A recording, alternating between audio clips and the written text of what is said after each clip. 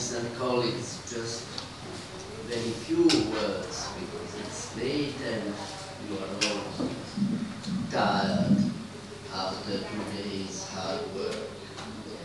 Uh, of course, the first thing to say is that I'm deeply uh, grateful to you all for this wonderful conference and in fact as I already to say to a number of people whom I met around here yesterday and today, this is in fact the best conference as for organization, participation, contributions, scientific content I ever uh, took part in in my life and probably also in the future.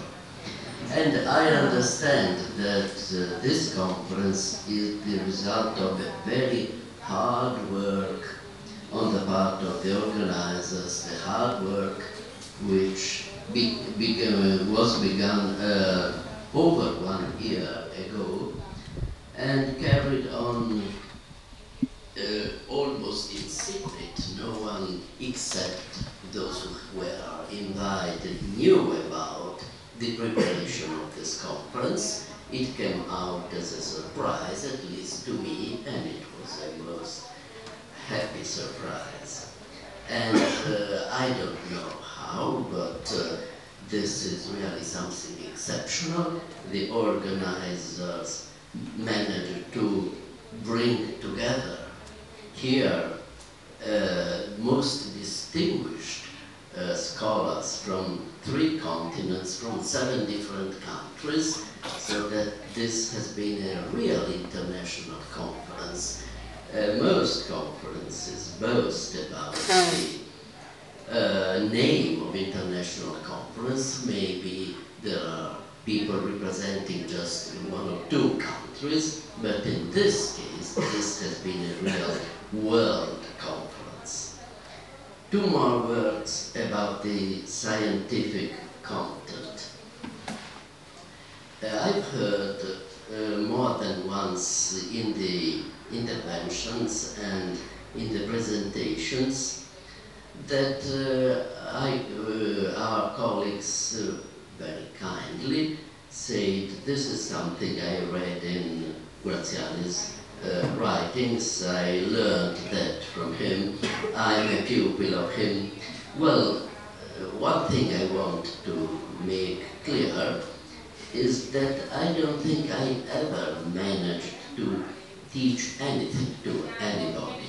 Perhaps my only uh, merit, the only thing for which I might deserve a mention, is that uh, perhaps uh, I had the ability of understanding which among the many young people who were around me over so many years of teaching had the ability of becoming a first-rate scholar and therefore deserved being encouraged.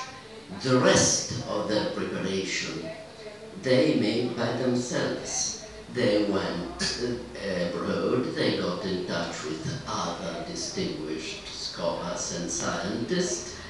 They, in fact, are all self-made scholars.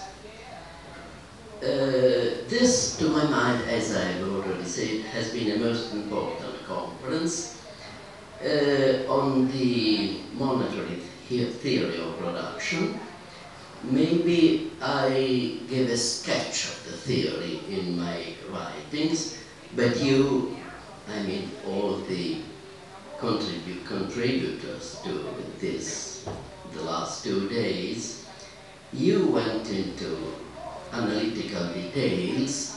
I learned a lot from your interventions, and I think that uh, from now, from today onwards, there is really a monetary theory of production which was absent and didn't exist until two years ago, two days ago.